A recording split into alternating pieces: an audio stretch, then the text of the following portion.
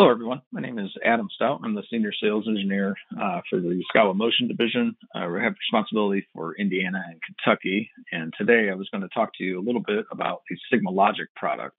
Um, first, that's me. And second, this is part of a uh, hashtag Yaskawa at home. Uh, check it out. Uh, I've seen some really cool stuff uh, up on YouTube already. So today I'm going to talk to you a little bit about a product overview. I'll walk through the configuration software uh, that you use to get the amplifier set up, and then I'll talk to you a little bit about uh, product usage within RS Logix. So what is Sigma Logic?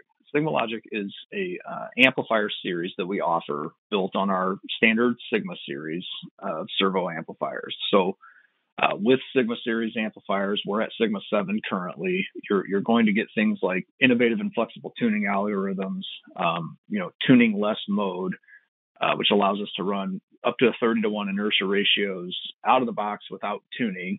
And that mode actually does adapt to changing loads as well. Um, you get flexible uh, algorithms. Things, advanced settings like uh, friction compensation, vibration reduction, that sort of thing. So we've got a, a, really, really high performing servo amplifier and motor product. And as an added benefit here, you get the ability to program the motion and the application within RS Logix. So um, another couple points here. We, we do offer this in a power range of 50 watts all the way up to 15 kilowatts. So 100, 200, 400 volt AC input. Um, there is a single configuration tool that you use one time uh, called Logic Works to get everything set up. And then from that point, again, this is an Ethernet IP ready product, and we offer a complete library of add on instructions. So all of the programming itself is done within uh, RS Logix, which you know, for the end users and the maintenance staffs out there and, and people that might specify that they want to do all the programming in Rockwell, this is our solution for that. Um, cool thing here is you get to run any of the Yaskawa motor products basically. So rotary motors, uh, direct drive motors, uh, indexing tables, rotary dials, things like that. All of our linear motor products, so super high speed, uh, high performance, uh, high, uh, very very accurate positioning, that sort of thing. And then in October, I, I want to say October of 2019, uh, we launched SigmaTrack 2, which is a complete linear stage. so this bolts on to the machine, uses our linear motor technology, uh, plug it into the amplifier, and you get motion, linear motion right out of the box. So let's talk a little bit about the configuration tool itself. This is called LogicWorks. Uh, very, very simple, uh, straightforward program to use. Uh, it's tab based, uh, and within each tab, there's a there's there's sub sub tabs, let's call it. So on the connection side, first thing to do is get connected to the drive you have the option to receive a uh, the parameters from the the drive amplifier or at the end after everything's configured and you're happy with with what you've done within logicworks you can send this down to the sigma logic axis and at that point all the programming is then switched over and done in in rs logix so no programming in this program. It's it's just a it's just a setup utility to make sure the units are scaled appropriately everything's set up to work with the with the uh, compact or control ControlLogix PLC.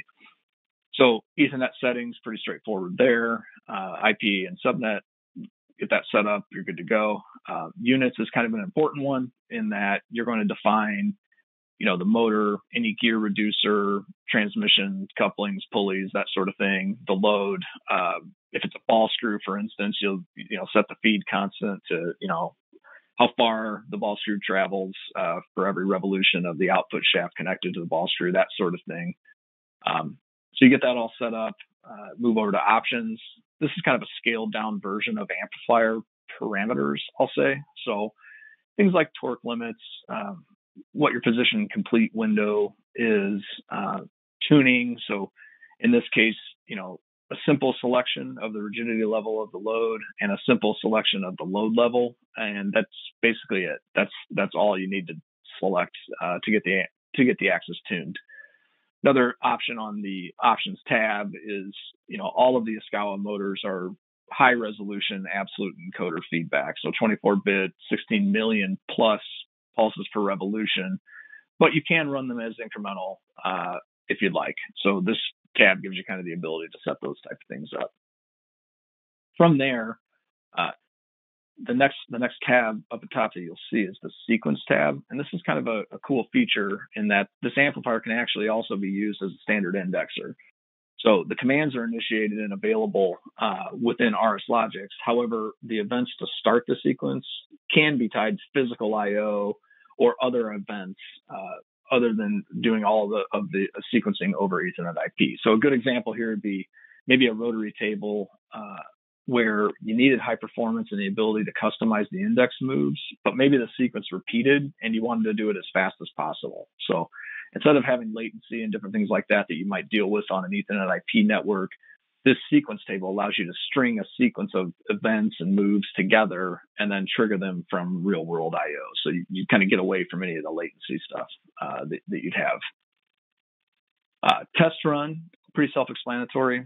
You can turn the servo on, jog it, in reverse or forward, set the accel, decel, and speeds. This is a good way to make sure that the motor's moving, that your units are set up correctly, uh, that you went through on the uh, configuration tab. It does allow you to do, you know, target position moves, and you can also set uh, the motor position to zero here, and, and, just kind of, you know, practice, make sure the moves are happening appropriately, and that sort of thing. So uh, you're done with that the last tab is monitor, shows you the active and, and, and history of the alarms on the axis. Um, there is a sequence monitor, which is really nice. If you are running this as an indexer, it show you step by step how the sequences are progressing, that sort of thing. And then lastly, there's a uh, status and IO tab that'll show you exactly what it, it sounds like it will. So um, actual positions, commanded positions, the speeds, any of the IO on the drive, any of the sequence flags, what their states are, that sort of thing. So you get all the way done with this.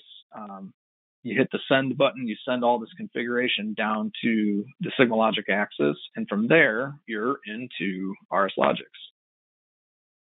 So in RS Logix, um, very straightforward to set up. Uh, first step is under the IO configuration, you add the SigmaLogic axis as an Ethernet module. Uh, we have a step-by-step instruction that shows you what to set the connection parameters to, things like that.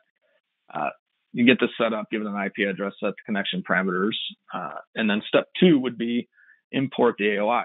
So for any of the Rockwell uh, folks uh, with familiarity with RS Logix, our library of add-on instructions uh, imports here you can see, you know, for instance, MAJ, motion axis jog, uh, within Rockwell is the same exact nomenclature other than we append underscore Yaskawa to the end of it. Okay. Uh, so pretty straightforward. So get the SigmaLogic axis configured as a module, import the AOIs, and from there you're programming fully in RS Logix. So we do have one special function block, uh, AOI called MCFG, uh, this is kind of a watchdog between our SigmaLogic axis and the PLC. So there's a heartbeat uh, that's exchanged back and forth. This will show you status of the axis. It also sets up all of the variables as tags for use within the RS Logix programming environment. So as you can see here, MCFG underscore one dot servo alarm code, for instance, right? So it'll it'll give you everything you need from the drive, from the SigmaLogic axis, for use within your RS Logix uh, program. So servo ready, servo on, is there an alarm? Is there a warning? Any and all of the things you would need from the driver accessible via programming tags. Uh, from there, uh, you know, standard uh, motion uh, function blocks. So, you know, example here is a motion axis move. You know, you set incremental or absolute, the position, the speed, accel, decel. You can see it's named MAM underscore Yaskawa. One nice feature I'll say is that our help file is very detailed, uh, shows you information about the AOI, and then brings up similar to what you'd see in RS Logix environment with Rockwell uh, function blocks, you know, data types, uh, what the usage is, the descriptions, shows you how really uh, to tie these different uh, parameters to the AOI for use within your program. All right, so uh, to wrap it up, you know, in summary, SigmaLogic is a really, really high performance product that you get to program within RS Logic if Logix if that's what is needed for the application. Uh, very large power range, 50 watts to 15 kilowatts, able to run all of the Yaskawa motor products. And your programmers or your end users, uh, if you're an OEM, don't have to learn anything new. They're still programming within RS Logix. We just configure it once with the LogicWorks program. Uh, complete support, 1-800-Yaskawa, 24-7, or with the field teams, uh, regional motion engineers, that sort of thing. Um, and then we do have online learning modules available for free. I'll include some links in the in the video content. They're going to be much better than this video. this is really meant more as an overview than anything else. Um, and then I've got some links here for flyers, model numbers, where you get LogicWorks, where you get the add-on instructions, uh, and then SigmaWin Plus version 7, which is our sort of complete axis configuration tool. Um, you can use that to set up the drive if you've got Yaskawa familiarity, and then you just pull the parameters from SigmaWin Plus into LogicWorks to, to do that. So I hope this was helpful. Uh, appreciate everyone's time. Have a great day.